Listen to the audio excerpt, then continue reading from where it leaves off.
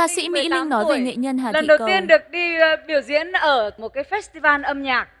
À, à, và à, lúc đó là được biểu diễn với à, cụ Hà Thị Cầu. Cụ á, lúc cụ hát là cụ say sưa và cụ rất là máu. Cụ nghệ sĩ vô cùng. Và đây là giọng hát của nghệ nhân ấy.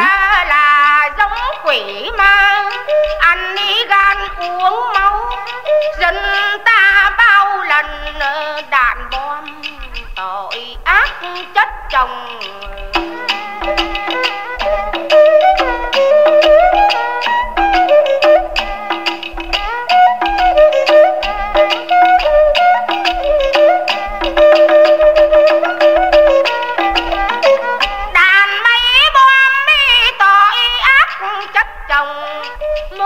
thù vạn kiếp.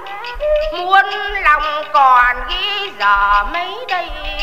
Theo đảng còn đi ờ, giết giặc tiêu nước. Giữ gìn biên đi cương mẹ khuyên con vâng, bước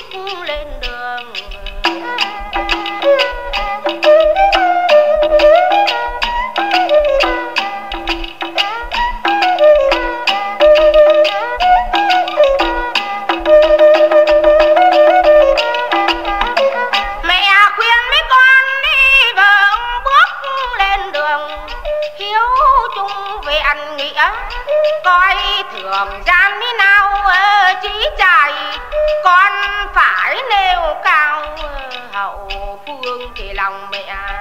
Già ti đào niềm tin ngày mấy mai, Dưới ánh quang